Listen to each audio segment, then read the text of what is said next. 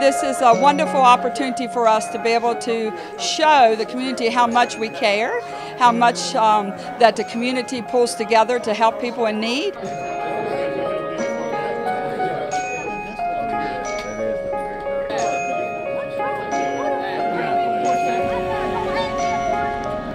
Know where I'm coming from. Uh, just a big family guy, so coming out here, just giving out food to everybody, enjoying our time, having a great, great day, just being positive in the, in the world.